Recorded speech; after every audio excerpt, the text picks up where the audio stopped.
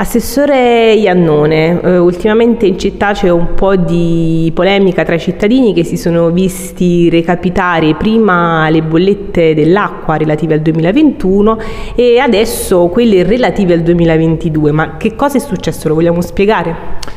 Allora sì, è semplice. Mm, il abbiamo dovuto inviare le bollette, la bollettazione dell'acqua anche con riferimento all'annualità 2022 per adeguarci alla carta dei servizi che era stata approvata dalla precedente amministrazione nel settembre del 2020 e per adeguarci alla normativa ARERA che prevede eh, fatturazioni eh, periodiche nel corso dell'anno eh, con cadenza bimestrale, trimestrale, quadrimestrale, semestrale o annuale a seconda del consumo che viene effettuato, che è stato effettuato negli anni precedenti.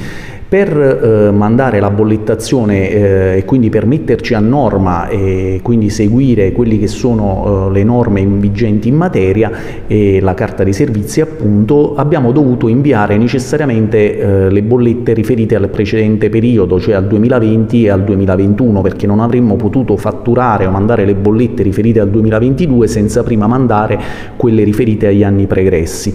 Tra le altre cose, le bollette riferite agli anni 2020 e 2021 abbiamo previsto eh, la possibilità per eh, gli utenti, per i, per i cittadini, di eh, pagare eh, ratealmente, quindi con rate bimestrali, eh, mentre per quanto riguarda il 2022 eh, la scadenza che è stata diciamo,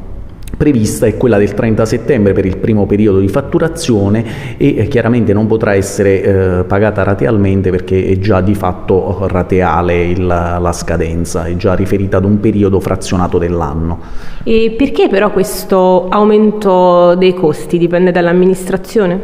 No, assolutamente no, non è nella nostra intenzione, non sarebbe stata nell'intenzione di nessuno aumentare eh, il costo del servizio dell'acqua, ma come ben sapete eh, con le tariffe e con le bollette dell'acqua eh, viene ad essere eh, coperto l'intero costo del servizio, per cui quindi il Comune eh, valuta sulla base di un piano economico-finanziario quelli che sono i costi eh, sia dell'approvvigionamento sia del, di tutti i servizi ad essi connessi e sulla base dei costi che eh, deve sostenere si applicano, vengono determinate le tariffe. È evidente, quindi nessun altro ehm, eh, diciamo, non possono essere dirottati i proventi delle tariffe per coprire servizi diversi se non quello idrico. Ed è evidente che l'aumento del costo dei, del, del, servizio per il cittadino è dovuto principalmente ad un aumento dei costi eh, delle materie prime energetiche, tra cui eh, principalmente il gas e l'energia elettrica, eh, aumenti che chiaramente non sono dovuti da questa amministrazione ma dovuti ad una crisi eh, di livello internazionale che ha generato un aumento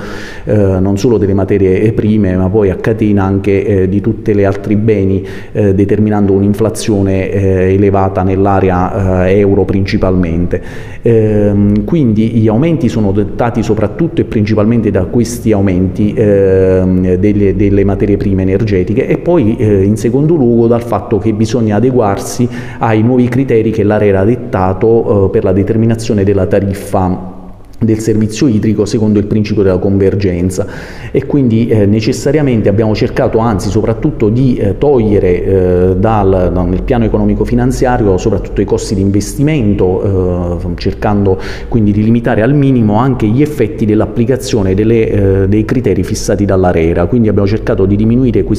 l'impatto negativo di questi eh, fattori esogeni sulla, diciamo, sulle bollette degli utenti.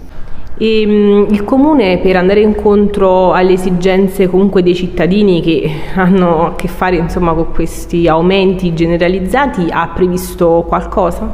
Sì, noi abbiamo, se proprio per stare vicini ai cittadini e capendo le esigenze soprattutto dei cittadini meno abbienti, abbiamo previsto delle misure, eh, dei contributi eh, a favore delle, appunto, delle, persone più bisognose, eh, la cui domanda, il cui bando è già uscito e le cui domande, il cui termine di presentazione delle domande scadrà il 31 di agosto, eh, proprio per dare dei contributi a coloro che hanno più difficoltà nel, nel pagare eh, sia le bollette dell'acqua ma anche altri servizi e altre eh, spese a cui non possono far fronte. Tra le altre cose nel corso dell'anno procederemo anche a rimpinguare o comunque a prevedere altre somme a favore sempre delle categorie meno abbienti e senza tralasciare e ricordare ai cittadini la possibilità di fruire delle misure statali eh, previste a favore sempre delle categorie più bisognose come il bonus idrico,